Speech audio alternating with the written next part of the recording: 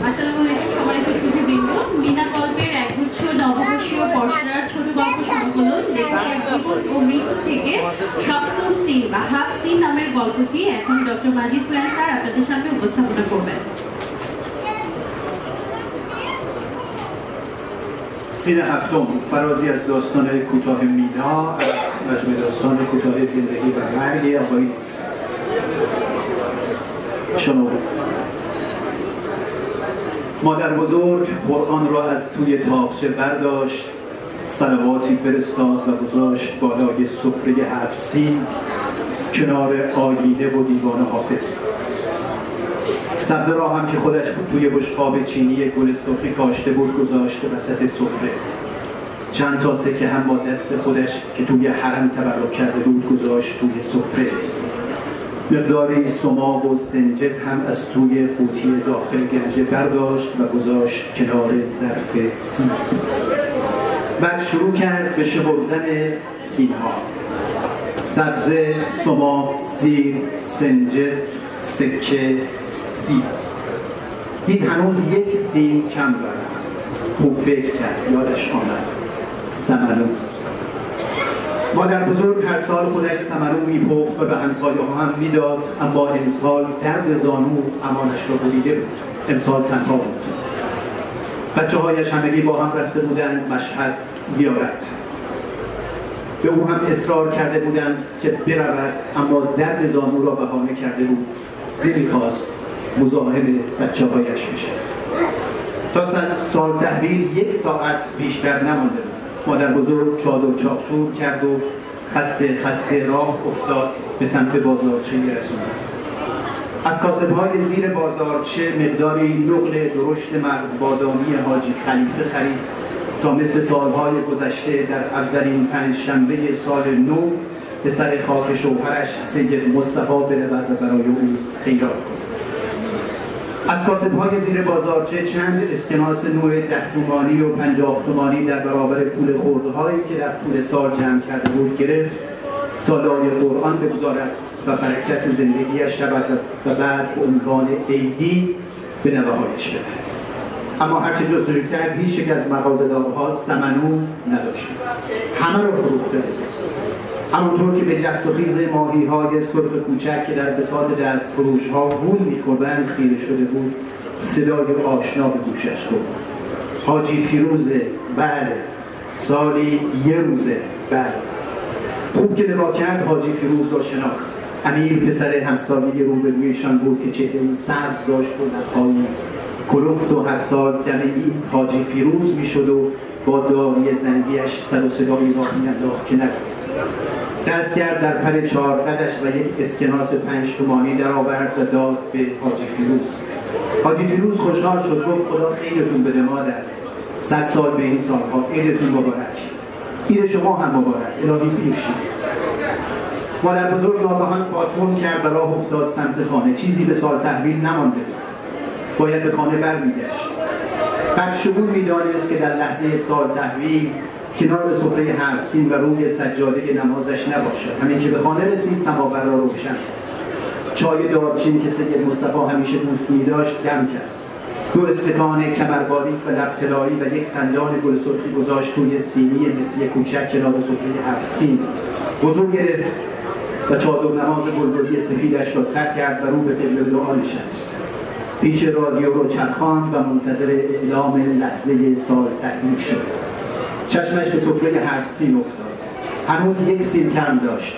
سمنو نگاهی به تاخچه کرد. برخواست قاب عکس سید مصطفی را که یادگار سفر زیارتی سال اول ازدواجشان به مشهد بود برداشت و گذاشت توی سفره به عکس خیره شد. به خودش که جوان بود و چادری سفید بر تن داشت و به سید مصطفی که دست بر سینه رو به گل و گلدسته امام رضا ایستاده بود.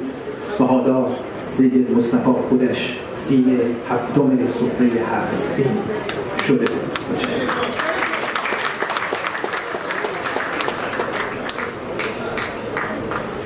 سلام و درود بر همه شما البته باید به زبان بغلا میگم و این دستاری که استاد خوندن به زبان بغلا دارم ترجمه میکنم দাদি তাক থেকে পোড়া লুচিয়ে দরুদ শরীফ পাঠ করলেন তারপর সাত সিনের দস্তরখানে আয়না আর দিওয়ানে হাফুজের পাশে সযত্নে সেটা রেখে দিলেন। যে সবুজ শস্য উদ্ভিদগুলো চীনা পাত্রে ফলিয়েছিলেন, সেগুলো দস্তরখানে ঠিক মাঝখানে রাখলেন। কয়েকটি সিক্কা নিজের হাতে হেরেন থেকে এনেছিলেন বরকতের জন্য। তাও রাখলেন দস্তরখানে কিছুটা সুমাদ ও সেঞ্জে দেওয়াল আলমারির ভিতরের কৌটো থেকে বের করেন এগুলো আপেলের পাত্রের কিনারায় রাখলেন দাদি এবার সিমগুলোকে গুনতে শুরু করলেন সাবজে সুমদ সি সেঞ্জে সেক্কা সি লক্ষ্য করে দেখলেন দস্তরখানে একটি সিন এখন কম আছে ভালো করে ভাবলেন এখানে মনে পড়ল সামানু সিন দাদি প্রতি বছর নিজেই সামান্য রান্না করতেন।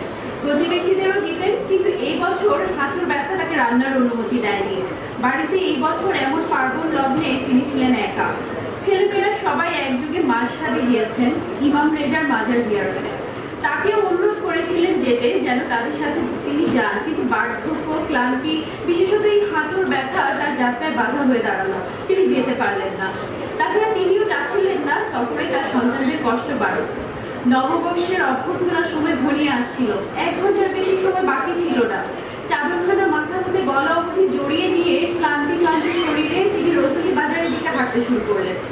দাদি বাজারের নিচতলার দোকানের থেকে কতগুলো হাজি খলিফার বাদাম যুক্ত বাতাসা কিনলেন মন স্থির করলেন, বিগত বছরগুলোর ন্যায় নতুন বছরের প্রথম বৃহস্পতিবারে তার স্বামী সৈয়দ মোস্তফার কবরের শিয়রে এগুলো সৎকার করলেন।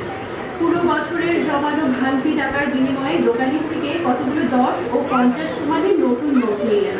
যেন নোটগুলো জীবনে বরকত লাভের জন্য কোরআনের পাতার মাঝখানে রাখতে পারেন এবং পরবর্তীতে নববর্ষের তোফা হিসেবে তার নাতি নাতিদের সেগুলো উপহার দিতে পারেন। কিন্তু যতই খোঁজ করলেন, কোনো দোকানের এই সামান্য পেলেন না। কিছুক্ষণ পরেই উৎসবের লগ্ন লাগল বলে। দোকানিদের তো সমস্ত সামানই বিক্রি হয়ে গেছে।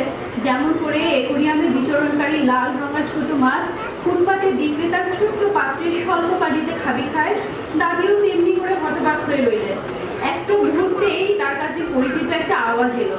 হাজি ফিরোজ, জি জি জি, বছরে একদিন, হাজি ফিরোজ।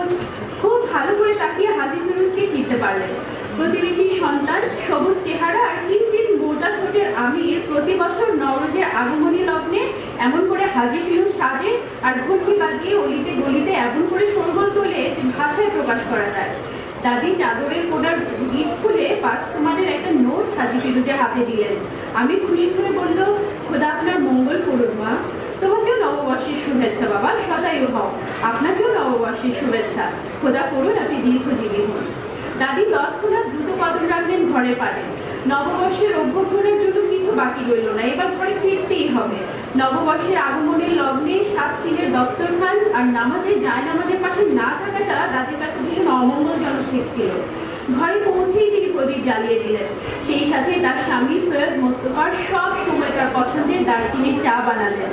দুটি সরু কোমরের সোনালি ঠোঁটের কাপ রাখলেন, ছোট্ট ধাতব প্লেটে পাশে লাল ফুলের কারুকার্য খচিত একটি চিনির পাত্র স্থান পেল। দাদি, এগুলো ট্রে সমেত সাত সাত সিলের দস্তরখানের কিনারায় রাখলেন। অজু সেরে নামাজের জন্য ভাজ করা ফুলে আলপনা আকাশ সাদা চাদরখানা মাথায় জড়িয়ে কেবলামুখী হয়ে প্রার্থনায় বসলেন। রেডিওর ভলিউমটা ঘুরিয়ে দিয়ে নববর্ষের ক্ষণ ঘোষণার জন্য অপেক্ষা করতে লাগলেন।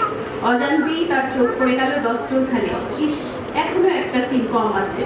আবারও দৃষ্টি ঘোরালেন তাকের দিকে। উঠে গিয়ে হাতে দিলেন সৈয়দ মোস্তফা, তার স্বামীর সাথে সেই ছবির প্রেমটা যেটা ছিল তাদের বিয়ের প্রথম বছরে মাসখাদে জিয়ারতের কালে ওঠানো। আলতোভাবে সেটিকে তিনি সাত সিংয়ের ওই দস্তরখানে রেখে দিলেন। অপলক চোখে চেয়ে রইলেন সেই ছবির দিকে ছবিতে মাথায় সাদা ওনা পরা নিজেকে কেমন যুবতী দেখাচ্ছে। আর তার পাশে সৈয়দ মুস্তফা বুকে হাত বেঁধে দাঁড়িয়ে আছেন। তিনি আজ আমাদের মাঝে নেই। অথচ সাত সিনের ওই যে একটা সিন কম ছিল, সায়েদ মোস্তফা সেই একটা কম সিন হয়েই এখানে আছেন, তার বুকের মাঝে, এই দস্তরখানের মাঝে।